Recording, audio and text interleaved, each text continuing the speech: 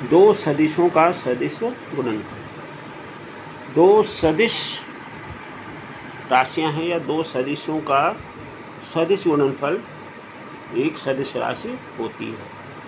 Number एक, अर्थात ए गुणा बी या A cross B equal to A B sine theta into N N जहाँ पे क्या होता है? एकांक सदिश होता है। इसके गुण देख लीजिए। सदिश गुणन के गुण। ठीक है? यह क्रम विनिमय नियम का पालन नहीं करता है। अर्थात A cross B is not equal to B cross A और यह आप कह सकते हैं A cross B equal to क्या हो जाएगा आपका? Minus minus B cross A भी ले सकते हैं। इसी प्रकार से यह साहचर्य नियम का पालन भी नहीं करता है। अर्थात A cross B cross B, C is not equal to A cross B cross C. इसके बाद यह वितरण नियम का पालन करता है। अर्थात A cross B cross C equal to क्या हो जाएगा? इसमें आपका क्रॉस नो के क्या होना चाहिए? प्लस होना चाहिए। तो ये हो जाएगा आपका A cross B plus A cross C इसके बाद है, दो अशून्य समांतर सदिशों का गुणनफल शून्य होता है।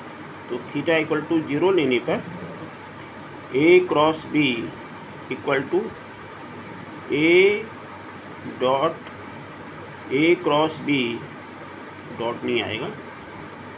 क्या आएगा आपका यहाँ पे? क्रॉस ठीक है? Sorry A cross B sine zero क्योंकि थीटा इक्वल टू क्या हो गया आपका? यहाँ पे ज़ीरो तो साइन ज़ीरो क्या होता है? ज़ीरो के बराबर होता है। तो ये आ गया आपका A cross B sine zero equal to zero ठीक है? और भी गुण हैं? किसी सदिश का, किसी सदिश से सदिश गुणनफल शून्य होता है, अर्थात A cross A equal to zero तो यहाँ से क्या आ जाएगा? A I cross I equal to J cross J equal to K cross K equal to zero या I cross J equal to K के बराबर होगा।